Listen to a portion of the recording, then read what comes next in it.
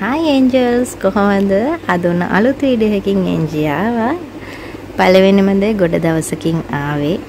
මේ දවස්වල ටිකක් බිසි වෙලානේ. හරි. අද වීඩියෝ එක මුළු ඇඟටම කිහිලි ඉකිලි බෙල්ල මූණ අත් කකුල් මේ ඔක්කොන්ඩ පාවිච්චි කරන්න පුළුවන් එක්ස්ෆෝලියේට් එක ස්ක්‍රබ් එක ද්‍රව්‍ය දෙකේ මැජික් එක අරගෙන ආවේ. කරලම් බලන්න පළවෙනි පියවරෙන්ම සිර 1000ක් ප්‍රතිඵල ලබා ගන්න පුළුවන්. පළවෙනිම දේ අනවශ්‍ය රෝම ඉවත් කරගන්න. මම මෙතෙන්දි මගේ එපිලේට් එක තමයි භාවිත කරන්නේ.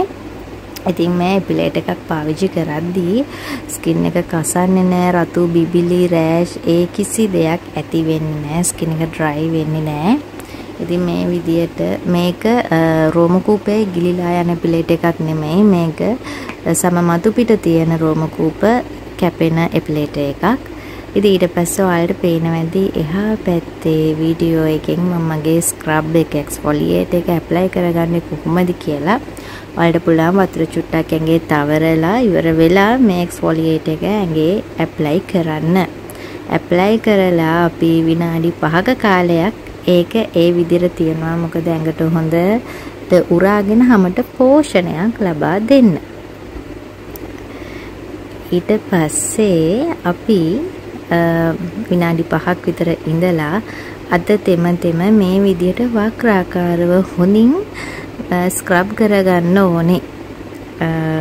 අත දැන් මෙම ස්ක්‍රබ් කරගන්න වෙලාවට අතට රළු ගතියක් දැනෙනවා නම් හැම නිකන් හීරෙන වගේ දෙයක් දැනෙනවා නම් අනිවාර්යෙන්ම අපහු වතුර චුට්ටක් අතට අරගෙන මෙන්න මේ විදියට ස්ක්‍රබ් කරගන්න අත ඕනවට වඩා තද කරන්න යන්න එපා. ඇත්තටම කරාට පස්සේ මගේ ස්කින් එක සාමාන්‍යයෙන් අපේ කකුල් දෙකේ ස්කින් එක ටිකක් ඝනයිනේ.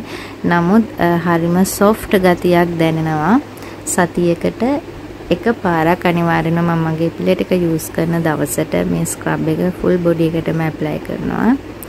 ඉතින් මෙන්න මේ විදිහට බලන්න කකුල් දෙකට මොන වගේ පැහැයක්ද ආවේ කියලා.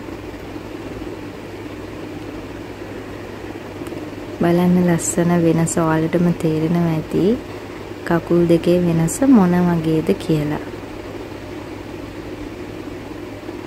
දැක්කද?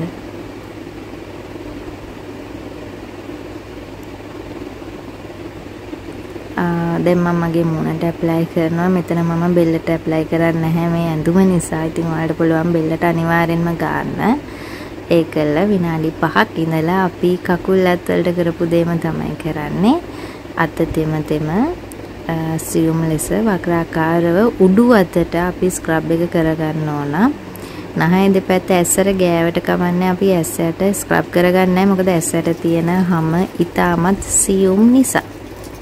මේ විදියට ඇතර මම බාත්රූම් එක වීඩියෝ එක කරේ නැත්තේ මට ඕන වුණා එළිය වීඩියෝ එකක් කරන්න. මේ කියන්නේ ස්කින් එකේ ඇත්තම කලර් එක ඔයාලට පෙන්වන්න සන්ලයිට් එකට මගේ ස්කින් එක කොහොමද කියන දේ පෙන්වන්න. මොකද මම රින් ලැක්ටිව් පාවිච්චි කරන්නේ නැහැ. ඉතින් මේ පැත්තේ වීඩියෝ එකෙන් තියෙන්නේ මම මුහුණ හොදලා ඊට පස්සේ කූල් වෝටර් කරලා. කූල් වෝටර් එකකින් තමයි ඊට පස්සේ මේ මුහුණ හොඳින් සෝදන්නේ. අත් දෙක කකුල් දෙකත් මම කූල් වෝටර් කරා. ඊට පස්සේ මගේ මොයිස්චරයිසර් එක ඇප්ලයි කරා. මේ තියෙන ස්ක්‍රබ් එක හදාගන්න විදිය යෝගට් එකකින් භාගයක් කෝපි නම් මම තේ හැඳි තුනක ප්‍රමාණයක් ගත්තා. මොකද කෝපි ටිකක් වැඩිපුර අපිට අවශ්‍ය වෙනවා. මේකට ඔයාලා දෙහි කඩල පිටි ඒ දේවල් නම් මික්ස් කරන්න යන්න එපා. මං කියන ඉන්ග්‍රීඩියන්ට් විතරක් දාලා 10000ක ප්‍රතිඵල ඔන්න ඔයාට ලබා ගන්න පුළුවන්. ඉතින් එහෙනම් මේ ස්ක්‍රබ් එක පාවිච්චි කරලා ලස්සන වෙලා හැමට මොන වගේ පෝෂණයක්ද ලැබුණේ කියන එක